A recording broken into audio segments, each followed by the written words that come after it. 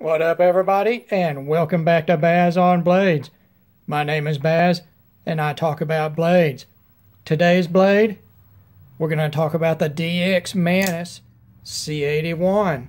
Now, let me go back and give you that name again. I'm going to give you the full name from DH Gate, where this knife came from, and uh, go ahead and write this down. Here we go. DX version, new design, Mantis C81, Rat 1, tactical ball bearing folding knife D2 blade.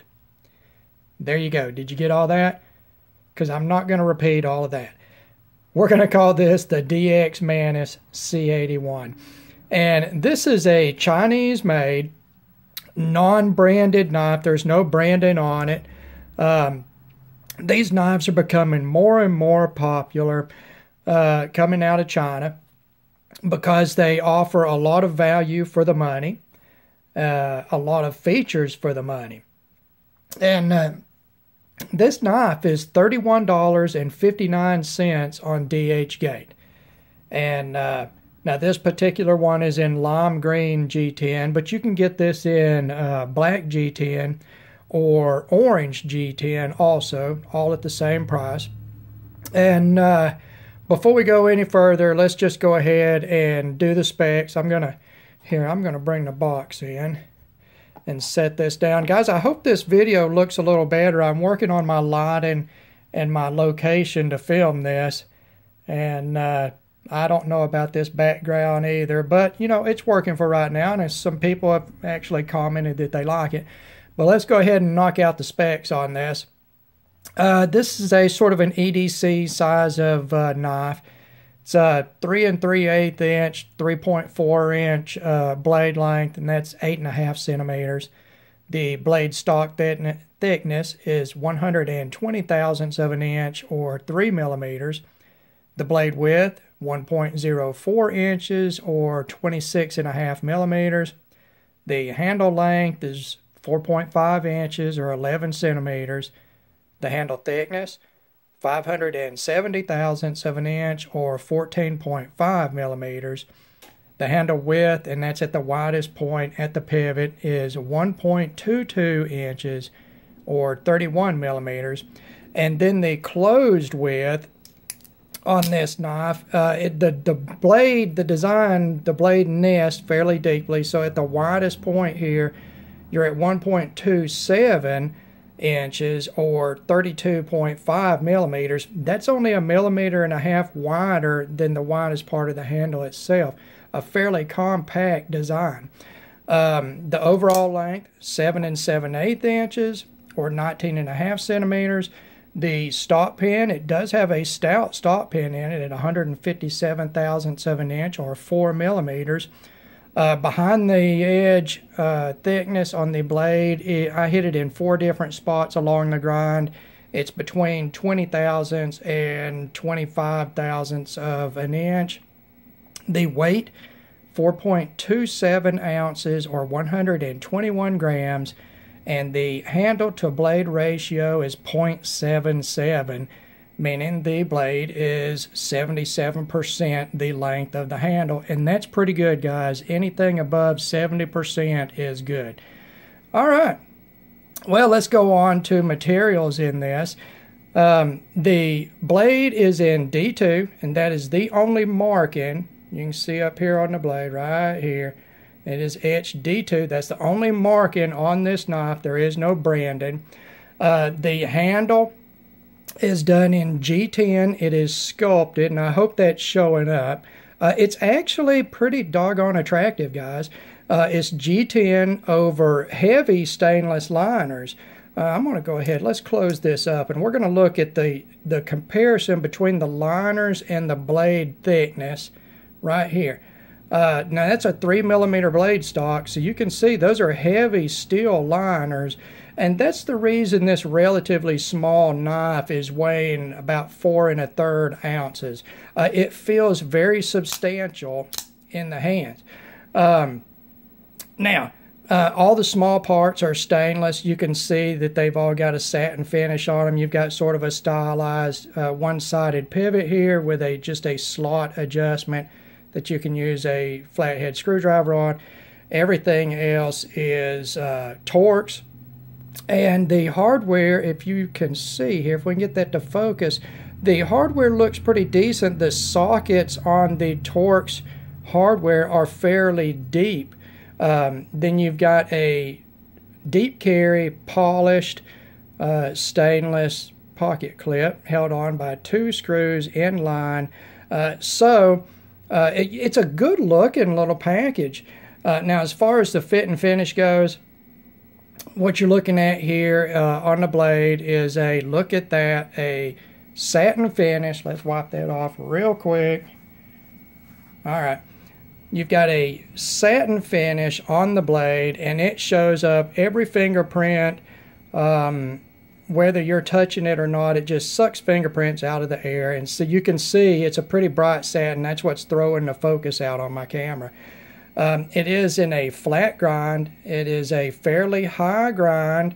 Uh, the grind is even. If you look at the plunge, uh, it is pretty even, guys. Uh, the swedge nice little swedge right here is uh, evenly ground. This is a sort of a stylized continuous drop on the spine drop point.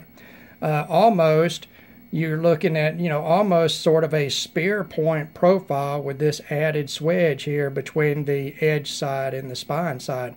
A very, very piercy looking blade. Uh, you can see that you do have a decent point. Uh, it is fine enough to where it instantly catches, uh, as you can see there. Uh, but it is not super, super thin. Uh, it is thinner than a lot of knives, but it is not like paramilitary 2 thin. Um, you know, it, it really, the blade design holds a good bit of the thickness uh, to, uh, close to the tip. All right, you've got dual thumb studs. Uh, they are held on their Torx bit type of thumb studs. Um, they are far back enough you can see that that thumb stud is actually behind the end of the edge grind here. Uh, so I don't think you'll have problems with these thumb studs being in the way and any deep cuts on anything. Now, speaking of that edge grind, I want you to look along the edge here. It is very even. Uh, I was very much pleased. Sorry, guys, this uh, satin finish on this blade is very hard on my camera. I was very eve, uh, even, very uh, happy with the evenness of the edge grind. Another thing is, look at this sharpening choil. It is well out past the plunge of the knife. It's sort of an open sweeping plunge, uh, but you can see in the reflection there that that uh, sharpening choil is out past that plunge. No issues to sharpen at all. You should be able to sharpen all the way to the termination of that edge with no flare at all, guys. And those thumb studs are not going to be in your way either. Uh, so as far as fit and finish uh, on the blade, the design of the blade, the grinds of the blade, the edge profile of the blade, uh, zero issues, guys. Very well done. Um, I think that this blade is actually ground a lot better than some knives that I've seen here recently at twice the cost. Uh, I'm very, very happy with that. Now, the fit and finish on the handle this bright handle material, this lime green G10, you're sort of losing this uh, machine uh, stylized machining here on the handle. I'm going to try to just rotate that in the light a little bit. Uh, you can see that it does give it a three-dimensional profile, so it is 3D machined. Uh, it's very attractive, guys. Uh, the handle reminds me of something, and it's more in the uh, the cuts here on the inside of the handle, uh, the butt end down here. I don't know what it reminds me of. It it is not a copy of anything, as far as I know, and it doesn't remind me of anything in that aspect at all. There's just something about it that reminds me of something, and I cannot remember what it is.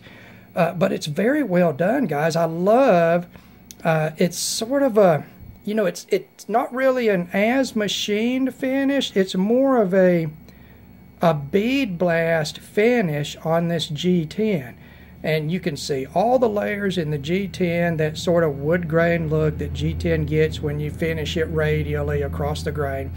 Uh, it's very attractive. And like I say you can get it in either black G10 or orange G10 in addition to this lime green. Uh, in the lime green the satin finish hardware looks very good against it I would, you know what? I would really like to see this knife with a black DLC on the blade and the hardware, the liners, the the lime green against black would be fantastic, I believe. Uh, but this looks very good. It's very well done. Everything has an even finish.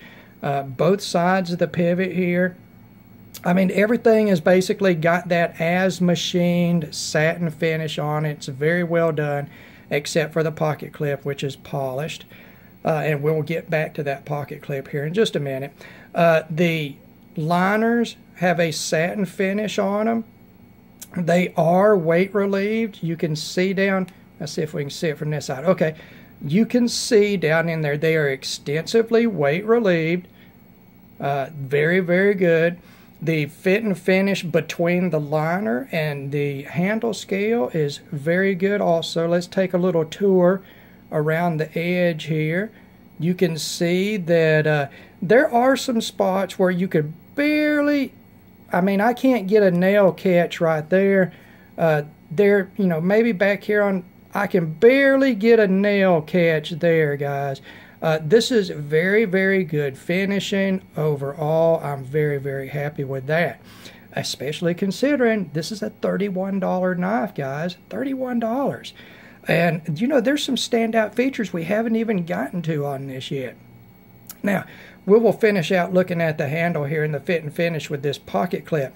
This pocket clip is very comfortable in a forward and reverse grip. Um, in a draw cut grip. Uh, the pocket clip's okay there too. Uh, it's sort of a compact handle at four and a half inches, uh, but that is big enough uh, to use in multiple grips. Uh, it does have, you know, it's a little bit of a stylized look to the handle, and I don't think that it's super, the handle itself is super comfortable uh, in a draw cut, but as far as forward grip, uh, a reverse grip. Uh, it works really well.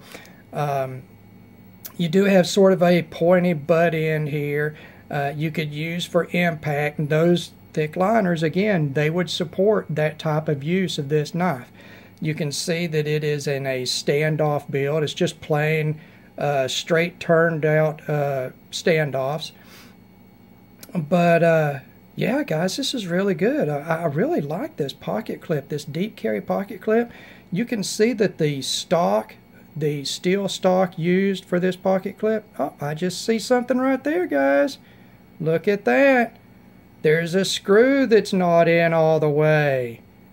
Well, I wish I had my Torx bit here. I wish I would have noticed that before the review. I would went ahead and put that in. But that gives you a truer look of how this came. I've not messed with this at all.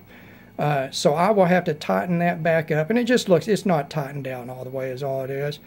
Um, but the design of the pocket clip is excellent, guys. No problem at all going in and out of the pocket. The retention is good. Uh, it's got a good spring tamper.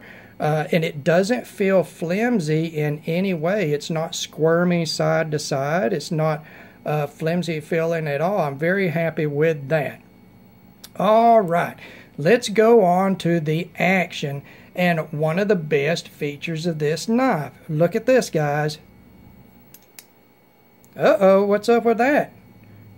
That is pretty loose, and I'm going to tell you why. It is a ball bearing pivot, guys. A ball bearing pivot on an axis type lock. Um, now, this lock does remind me, of course, of the Benchmade axis lock which apparently very recently here the patent ended on. So we are probably going to see this lock technology just all over the place um, in the future. Uh, you see it a lot on the Ganzo knives at the around the $20 price point. You've got it on this knife around the $31 price point. And uh, you know what? It's uh, it's pretty decent, guys. Uh, you can see you've got good the cross bolt, the surfaces here where you grab a hold of it to actuate it. It's easy to get to. The springs in it are not quite as stiff as what you're seeing out of Ganzo, uh, but they are stiffer than what Benchmade uh, Omega springs are. It's very easy to actuate. I mean, very easy. It's it's much easier to actuate than the Ganzo versions. You've got plenty of extension here to grasp a hold of to actuate that. And of course, this thing has a ball bearing pivot. Um, I mean, if you want to sit around and fidget with this thing, it's just, guys, it, it's just like floppy. Uh, in fact, closing this thing is hard to do with just a lock because the blade wants to just free fall, guillotine down, and bounce off of the stop pin. Uh, so you've got to actually get your time and just ride on that. More technique than anything. Very, very smooth, guys. Easy to open, easy to close uh, on the action.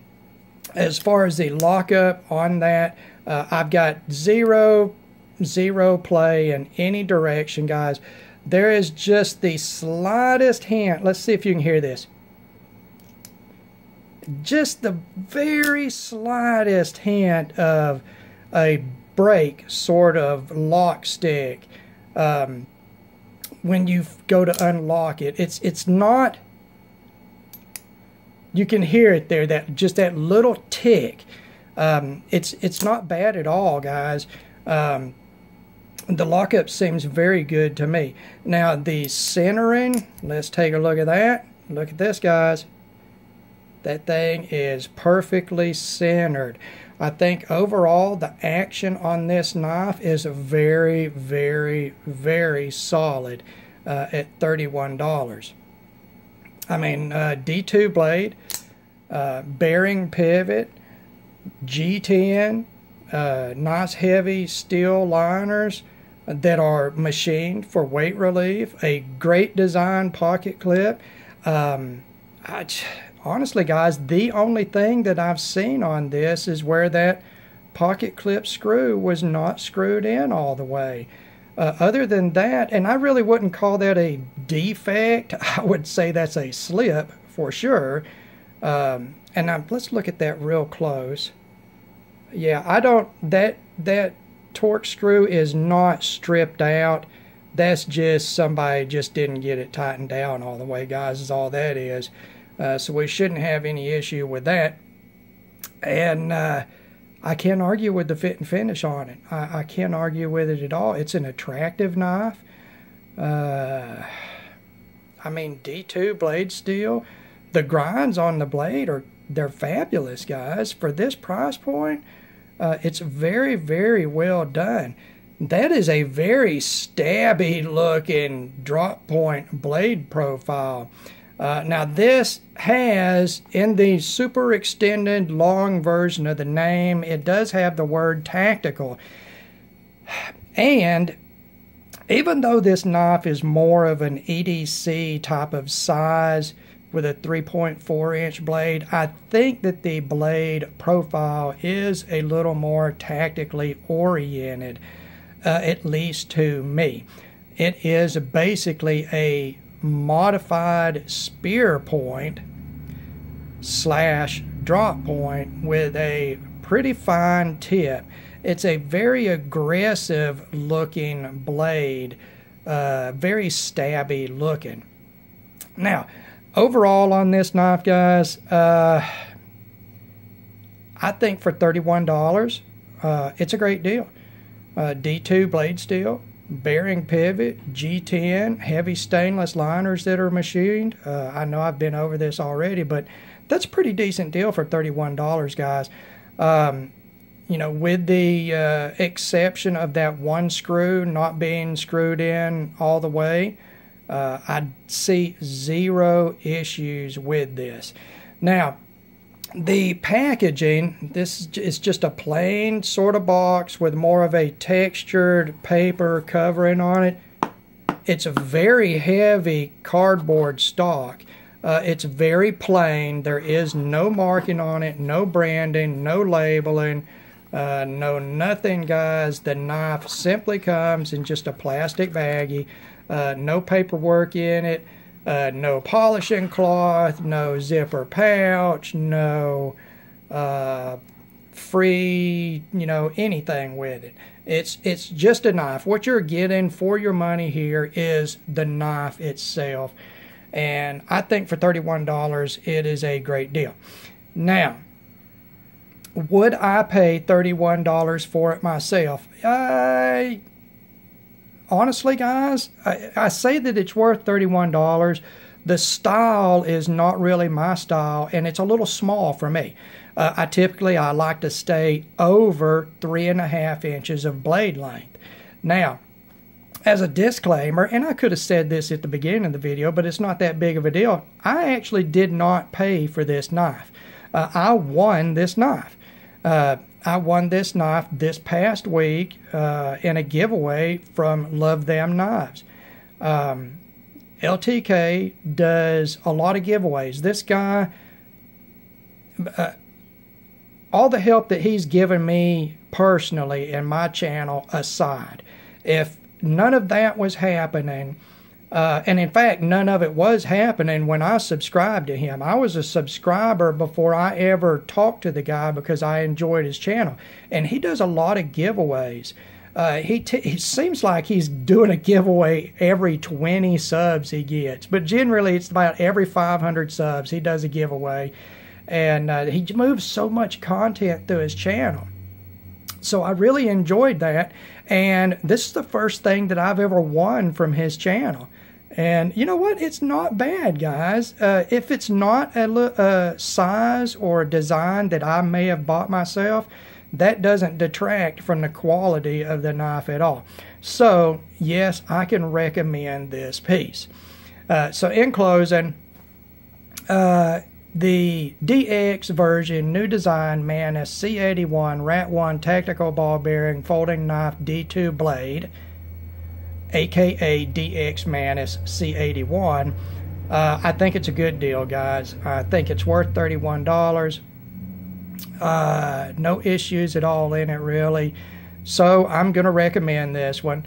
Um, and uh, I just I think you would be happy with it. If if you want something this size, a, a bearing pivot with a axis top lock, uh, I, I honestly it's it's pretty decent, guys. It's pretty decent.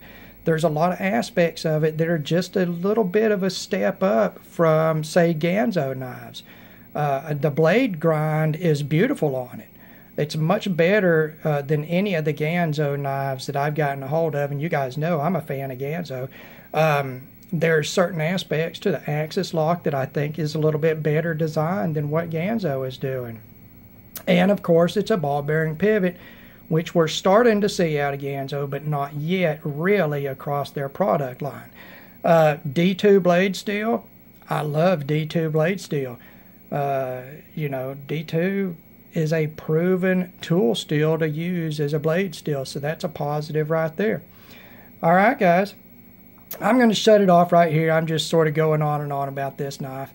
And uh, as same as always, I want to thank all of you for taking the time to watch one of my videos.